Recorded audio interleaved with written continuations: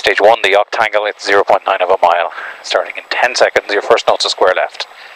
7, 6, 5, 4, 3, 2, 1, go.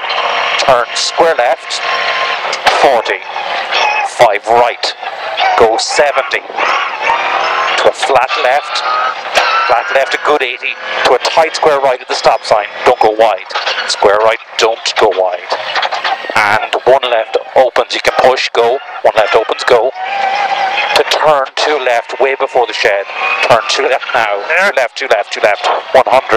Turn two right around the last tree at the cone, turn two right around the cone, 80 two right plus, and it is a plus, two right plus, 80, right plus, 80, four left plus, in, and you can go, it's flat to finish now, four left plus, in, and six right, go 100, six left into four left, and straight over jump, four left, go straight over jump, it's flat, 200, flat jump, 200, flat, go on, 200, flat through finish, through the red boards, go on through the oh.